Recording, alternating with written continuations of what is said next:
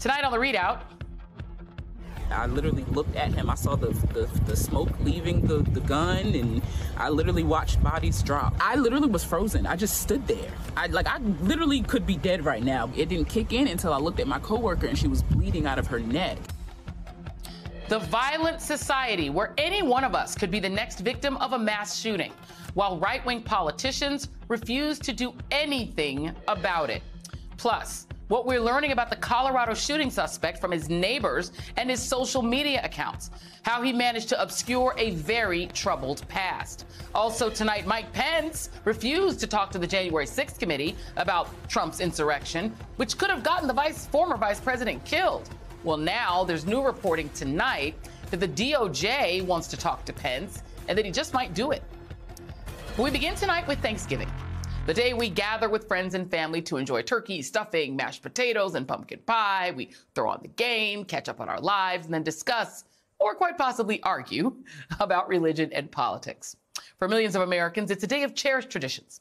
And as Americans, we certainly value those traditions.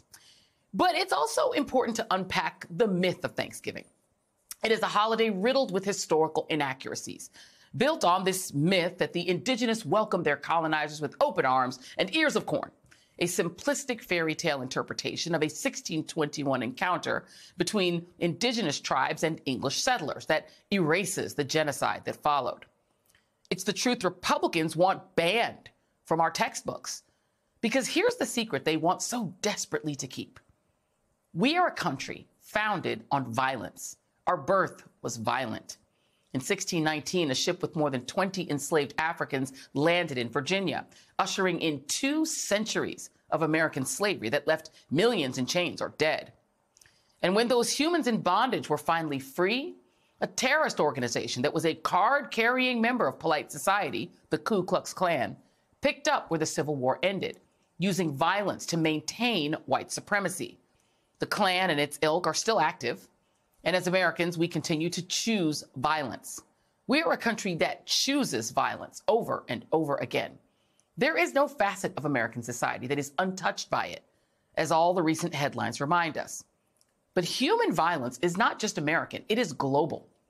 While we're preparing for Thanksgiving, rockets rained down on Kiev and several other Ukrainian cities, knocking out power and water. At least three people were killed in Russian airstrikes today, including a 17 year old girl less than 24 hours after officials said a newborn was killed by missiles that hit a maternity hospital. Our country is thankfully not being invaded by a foreign power, as is Ukraine. But it is not engaged in a, and it's not engaged in a civil war like in Yemen. And yet, our people are facing the same types of weapons that these people are facing in war. A semi automatic weapon, barely different from the weapons soldiers are using in Ukraine, can appear anywhere. Republicans made sure of that.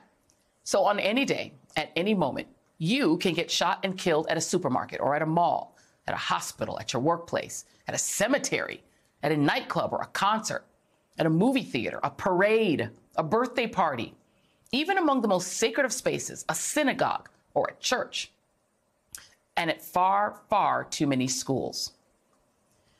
In 2022, there have been more than 600 mass shootings in the U.S. The bodies aren't even buried before the next one takes place. Today, a Colorado judge ordered the suspect accused of gunning down five people at an LGBTQ nightclub held without, had him held without bond. It was the defendant's first court appearance. Then we woke this morning to news of another mass shooting, this time at a Walmart in Virginia by a manager who opened fire on his fellow employees, killing six people, this time with a pistol. Ah, variety. It is the second high profile mass shooting in four days. We now know the names of the victims. They are Lorenzo Gamble, Brian Pendleton, Kellie Pyle, Randall Blevins, and Tynika Johnson. The sixth victim is a 16 year old resident of Chesapeake whose name is being withheld due to him being a minor. Let's also name the three college students killed last week during a shooting in the same state at the University of Virginia. They are Devin Chandler, Lavel Davis, and D'Sean Perry. How much more bloodshed will we tolerate? How much longer will we cower in fear, looking over our shoulders whenever we're out of our homes? How much longer? And now look closely. How much longer must our children endure active shooter drills in elementary school. How many more empty seats at Thanksgiving dinner? There is a way to fix it, quite possibly end it. But instead, we are trapped in a cycle of gun violence. It feels permanent because an extreme minority that has infiltrated Congress loves guns more than they love people. Whether it's their beloved AR 15 style semi automatic rifle, the favorite weapon of mass shooters, including the shooter in Colorado, or the pistol like the one used in Walmart.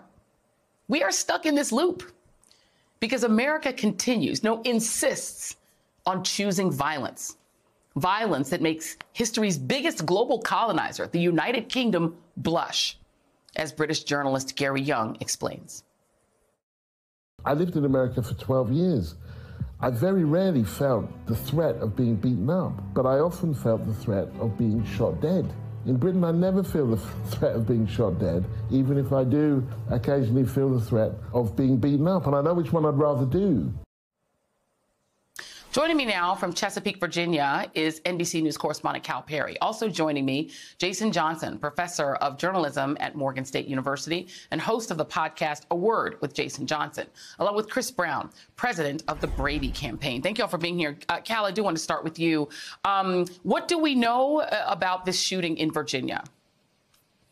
At the Walmart. So we know it happened at 10:45. Excuse me, sorry, 10:15 last night, uh, 45 minutes before the Walmart closed. You can see where I'm standing right now. The parking lot completely shut down. But how many times have you rushed to a Walmart, to a store just before closing, just before a holiday, uh, to get those last items? That's the way that this store was last night. It was packed just before closing.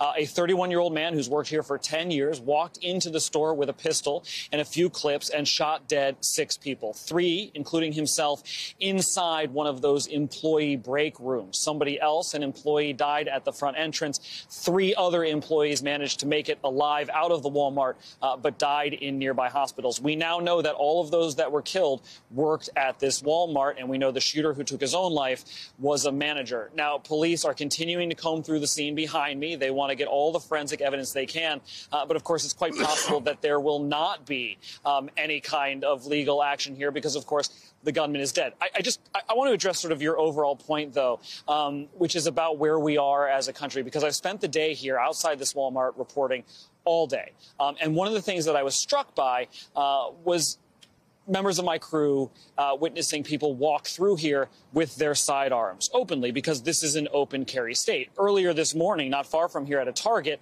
there was a false alarm of another shooting. Uh, police descended on that store. Um, and, and, look, it, it's made everybody wonder, especially me, um, what do you do if you're a town that's on edge and you see somebody with a gun in an open carry state? Um, there's really nothing that you can do. It, it, it sort of confuses the situation even further. For a town that is on edge, for all the reasons that I said, um, it just seems to be a complicating factor. Now, in Virginia, there are certain towns and certain cities where you cannot openly carry, but you can here. Um, and it'll be interesting to see if we hear from more state senators, because we've heard from some today who are talking about shifting this legislation. But I don't need to tell you, we often hear that in the aftermath of these attacks, uh, and then it wanes, Joy. This is why I'm afraid to shop in Virginia. To be honest with you, it's an open carry state. People walk around with guns. And we know that we've seen a case in Ohio where a man was buying a toy gun in a Walmart and wound up getting shot dead by police because in that open carry state, this black man was considered too dangerous to be holding a toy. Uh, I want to uh, talk to you, Chris Brown, about this because the governor of Virginia issued a statement. They do it all the time, these Republican governors. Thoughts and prayers, thoughts and prayers, thoughts and prayers. Well, there's an editorial that pointed out in, Mo- in Mother Jones, he didn't use the word gun. Like he left that word completely out. And I just want to show you how his lieutenant governor ran with him when she was on his ticket. Her name is Winsome Sears. Here was the ad. We're going to put it up. There's a picture of it. That's how they ran. They basically, the, the whole idea was book bans and guns. So, your thoughts on his thoughts and prayers? Well, look, I mean, that is completely counter to what the vast majority of Virginians, and I also, Joy, am a Virginian, uh, want and need from our state. We're coming up actually next this this next year in 2023 we will have another election in Virginia and I think and I hope that gun violence prevention is on the ballot because before we had this governor, we had a governor who actually ran and won on the issue of gun violence prevention. And we accomplished what everyone in Virginia said was impossible. We passed six laws to really change the demographic, change the nature of uh, gun violence prevention in the state of Virginia. Youngkin ran and won, not on this platform per se, but he is beholden to the gun industry. So, what he and the legislature in Virginia want to do is actually roll back all of that. And to your point, it's a very, very dangerous and scary place to be if you don't feel that you're shopping, you're going to church, you're dropping your kids at school, and there are basic safety measures in place that can protect you. It's not just why we need change in Virginia, it's why we need this Senate in the lame duck session, Joy, to pass the assault weapons ban that passed the House and the background check expansion that are both pending in the Senate. They need to take that that up, both of those bills, and that will save lives. Maybe not yeah. the, these particular mass shootings, but a lot more. And some of what we just heard about, people would be saved.